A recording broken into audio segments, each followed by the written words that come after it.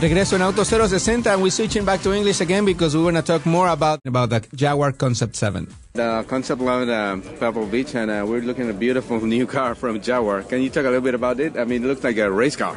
It is beautiful, and it's the Project 7 Jaguar that was uh, inspired by the engineering and the design team at, at Jaguar uh, for Goodwood. Oh, okay. Uh, so it's uh, it, uh, Mike Cross, uh, who heads up the the engineer team for Jaguar, actually ran this car up the hill at Goodwood a few weeks ago. Uh, it's based on the F-type chassis. They've lowered it 10 millimeter with different suspension and, and dampening and springs. they've increased the, the the horsepower of the 5-liter V8 supercharged engine to 550. It's got a different design nose on the front. Um, it's got the D-type inspired flaring uh, in the back. The number seven is uh, is based on uh, seven wins at Le Mans for Jaguar, and the blue color is uh, the D-type uh, color that uh, won Le Mans back to back in 1956 and 57. Yeah. And I noticed that the windshield is a little bit lower than a normal car. Why is that? Uh, the, the, windshield uh, is uh, four and a half inches lower. It's a little bit of a different angle, uh, and it gives it that that spider uh, look uh, as, as as an open kind of cockpit car. Um, yeah, it's just it's it's a it's a concept car for Jaguar, but what, what makes it unique is it's actually you can it's drivable. And, and uh, you said you were uh, you you were in in, a, in relationship with uh, the Jaguar program, that racing program from Jaguar. So you've driven it? I have driven it, and, uh, and uh, it's it's a lovely car to drive. It's it's uh, it's what what us racing drivers would like to have on the racetrack.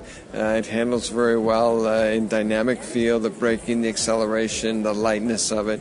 Uh, in my relationship with Jaguar, uh, I headed up their Jaguar Performance Driving Academies here in the U.S. Okay. Uh, people that buy an R model Jaguar, they come spend the day with us at a racetrack, and we teach them all about the performance side of the car. Oh, very interesting program. And uh, where is that? Uh, is that I guess different locations? Right, we do. We, we go to Laguna Seca here in Monterey, California, to Homestead, Miami, to Las Vegas Motor Speedway. We move around. But uh, but I, I go back to uh, to driving the Silk Jaguars in Le Mans and uh, in Europe in Group C uh, many years ago to the Bud Light Jaguars here in the states. Excellent. So if somebody you said if somebody buys a new Jaguar, uh, might have a chance to drive with you.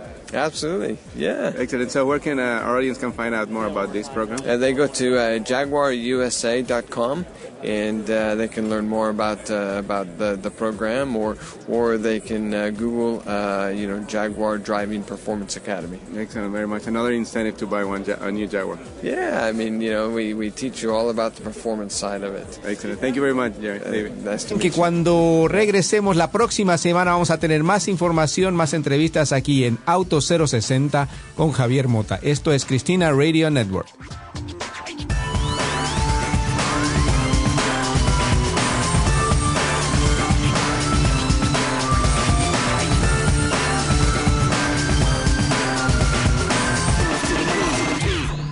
Este programa fue una producción de National Latino Broadcasting.